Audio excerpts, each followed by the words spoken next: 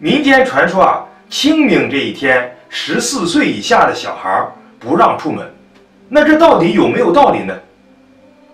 那我们从宇宙运行的角度来看待和解释这个问题。清明节的时空，太阳在黄道刚刚走出了十五度。那这个时期呢，昼夜的温差大，气候、物候、时候这三候啊，运行非常的不稳定。小孩子们呢，他的抵抗能力非常差。